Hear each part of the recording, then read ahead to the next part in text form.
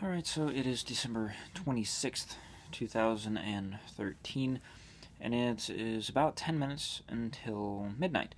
So I'm getting this vlog recorded just in the nick of time. And I'm actually recording on a new phone that I just got a few hours ago, the iPhone 5C, and I gave my other one to my oldest daughter. Um, her phone had a shattered front screen on it. She had like a Windows phone. So we'd been talking about getting her an iPhone for a little while. And figured now was the best time, or as good of a time as any.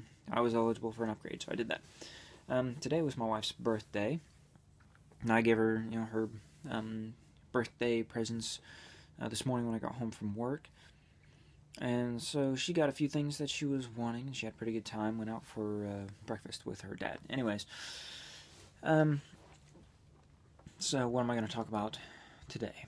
Um, I've been working on some things for the podcast, um, like a format for the show. And I have a brother that's down from the state capital. And tomorrow we are planning on recording our first episode of the podcast that we're wanting to do together called Life According to Brothers. cough. So there's that. I'm actually in my son's room right now. Um, he is not. He's sleeping in a co-sleeper in the bed in my bedroom next to my wife. Um, so I'm not gonna wake him up. And everybody's asleep but me. And probably because I work night shift, so I don't really sleep at night very well.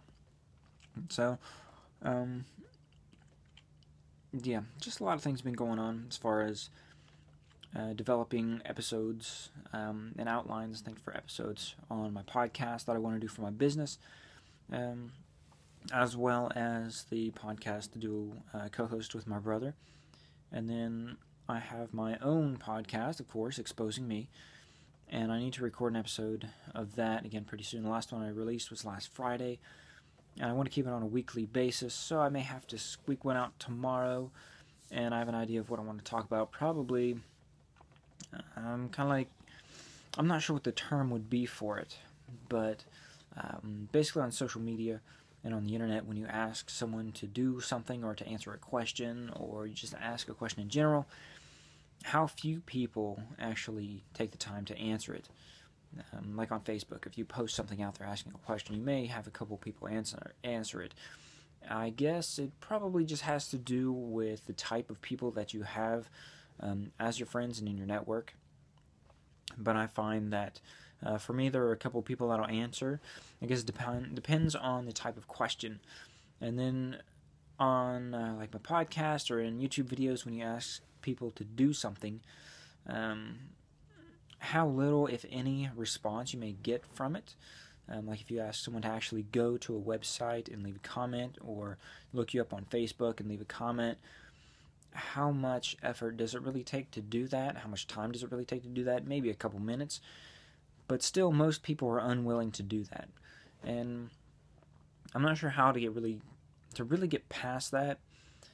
I know for people that we really feel connected to and that we, we care about, and the people that we um, value their opinion, and um, we'll do things for them that we won't do for you know some stranger. Um, but I wonder why is that? You know, it takes so little effort, you know, especially today with all the technology that we have and all the ways that we have to um, go about doing these things. You know, why are we so reluctant?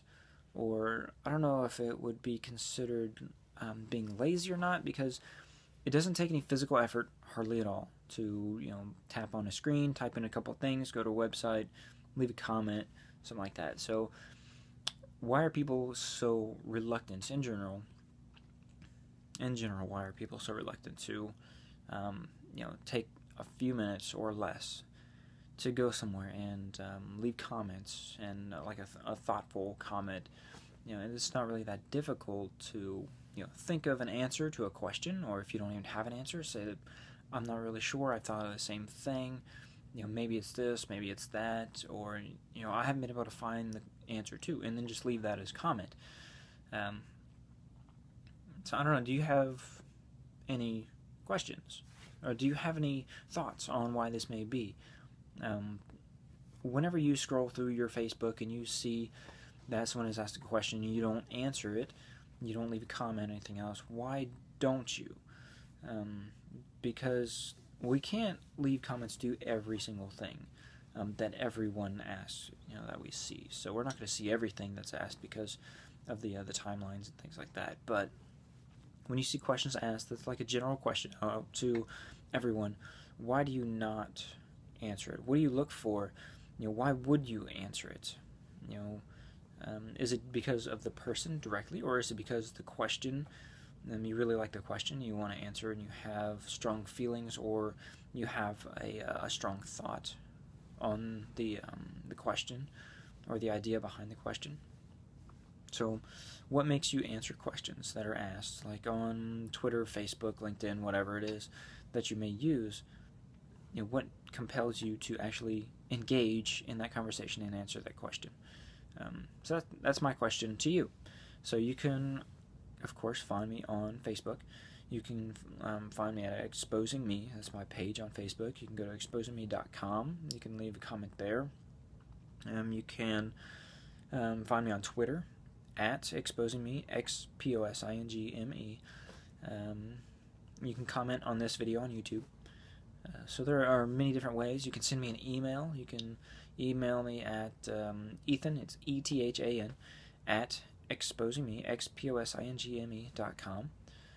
And yeah, so that's going to be the video for tonight. Um, I'm going to upload this, and I will see you all tomorrow.